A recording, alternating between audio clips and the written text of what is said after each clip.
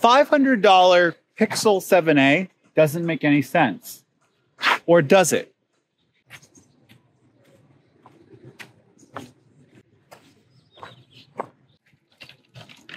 The Pixel 7a was almost fully leaked before it was announced.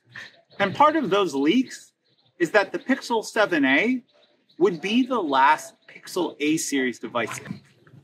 Now, along with that, now along with the leaks of the Pixel 7a being the last A device, we also had leaks that it was going to have a $50 price hike. And now that it's out, we see that it is $500.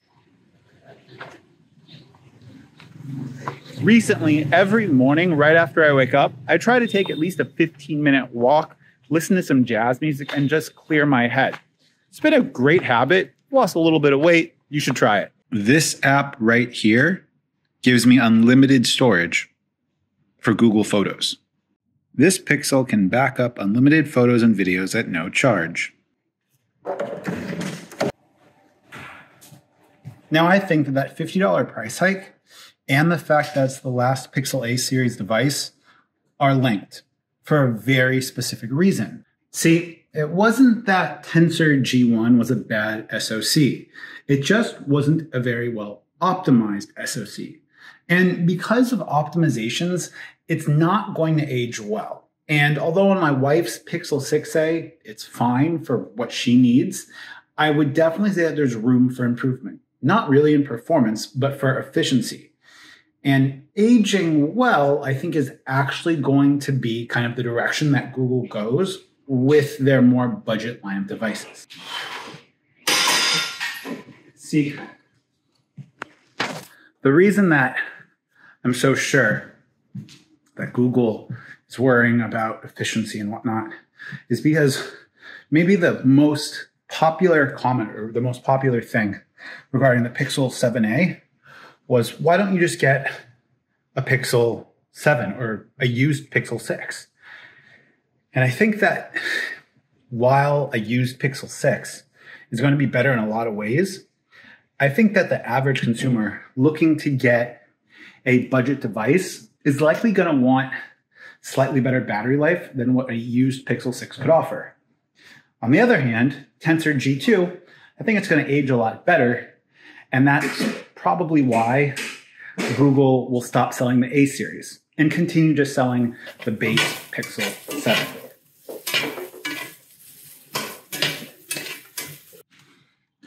Another option that many people don't seem to have considered is that it's totally possible that Google is going to follow Apple's footsteps with what Apple does with the iPhone SE model.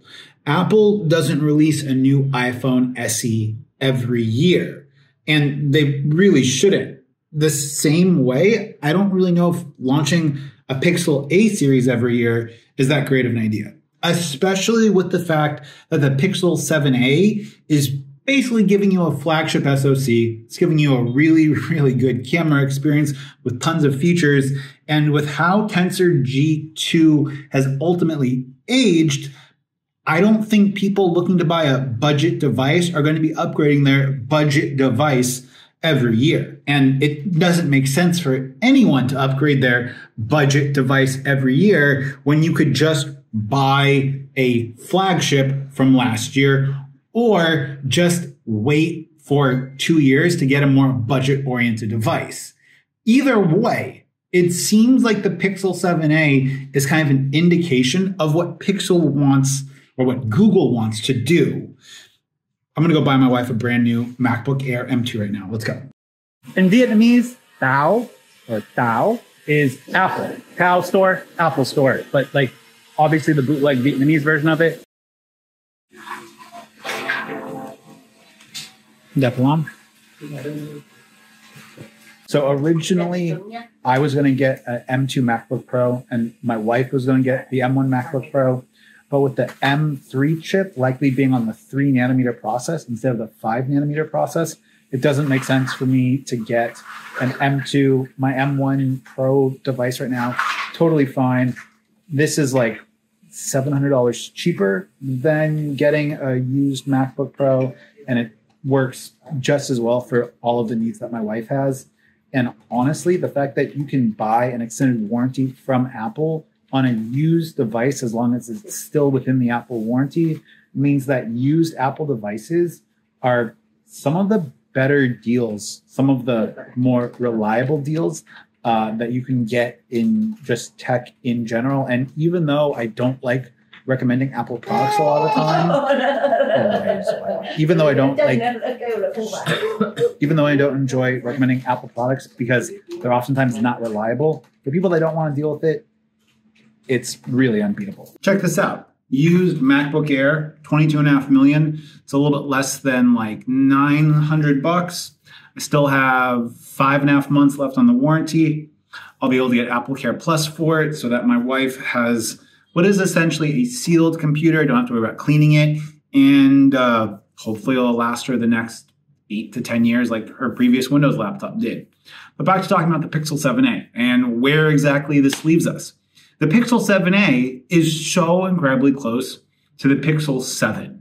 Uh, the new sensor, actually the 64 megapixel sensor that's using is not a Samsung sensor. I was wrong in my predictions video. It's a Sony sensor. The screen looks like it's slightly partially dimmer, dimmer than the screen on the Pixel 7, which is already around 1,000 nits of brightness. Uh, and it's got 5 watt wireless charging instead of uh, the 23 watt if you're using a Pixel stand. Otherwise, you have to use an EPPS extended programmable power supply Qi wireless charger. It's the one that Samsung uses. You get 15 watts out of it. You only get 5 watts with the Pixel 7a, which I think would be fine for people that want to use it overnight. Probably not great if you want to get fast charging, but Qi wireless charging is more about convenience and always kind of just topping your phone up instead of necessarily fast charging. And there doesn't really seem to be that much of a reason to buy a Pixel 7 over a Pixel 7a. Um, and I don't think that most people would necessarily care about the plastic back or the fact that it's only got 18 watt charging instead of the 24 watt charging. And all that to say that Google has made a really, really great entry level phone. The problem is that they are charging more than their prior device. And with the track record that we've seen, it's probably going to be a $400 phone, if not a sub $400 phone, within the next four to five months. Um, meaning that you would be able to get a, a Pixel 7, possibly used or open box or refurbished, for even less than that. And the fact that Google has such a good relationship and program with iFixit. The overall design of the Pixel 7 being extremely friendly to user repair. Um, essentially, you take a hair dryer and you pry the screen off. If you break the screen uh, and you can put a new screen on, changing the battery, pretty much the same thing once you have the screen off. Uh, there's some pull tabs for the battery and it comes out. So repairability and overall long-term kind of usage of the Pixel 7 um, looks to be pretty good, which makes a used Pixel 7 a very, very compelling option because battery replacements are so easy, along with Google caring so much about just kind of battery health together, or altogether, I should say. And so the Pixel 7a seems like it's a confused device.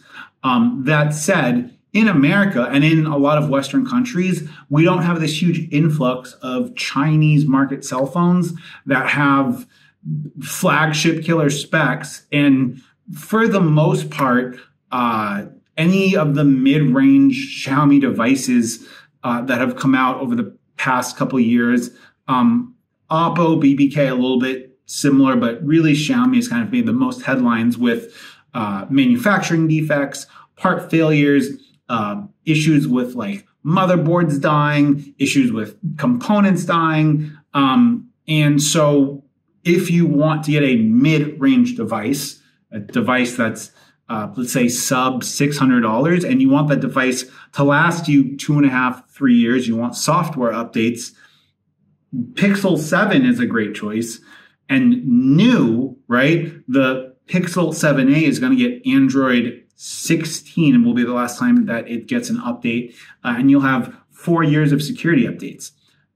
I think that it's a device that is just a no brainer purchase for a lot of people, right? It makes it a really easy device to recommend. I recommended that my father get a Pixel 5a 5G. He's had it now for two and a half years. He loves it. It's great, right? And it served him extremely well. He still gets fantastic battery life with it because Google has implemented so many of these battery saving parameters and because they are so conservative about their battery charging tech and the like temperature that they allow their batteries to get up to um, and so if you're looking for just a no-brainer mid-range device that you can buy brand new that's going to get you three generations of android updates four generations of uh, bug fixes the pixel 7a doesn't really have much competition. Samsung will get you better uh, OS update support, but you're going to be dealing with the A54 that has a Exynos SoC. Depending upon where in the world you live, maybe an S21 FE would be a good option. But again, in some places around the world, the S21 FE has the Exynos chip, which is really not a great option for a lot of people.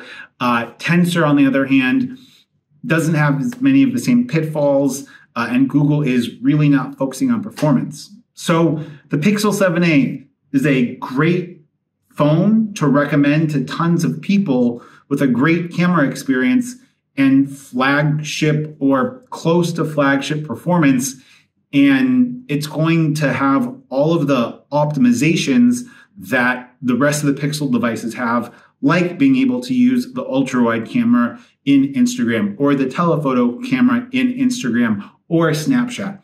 And those are things that tons of people really care about. And so if you if you are trying to recommend a device to a non-tech nerd and you just want something that you can suggest and they're going to enjoy, Pixel 7a without a doubt. For everyone else, Pixel 7, replace the battery yourself if need be.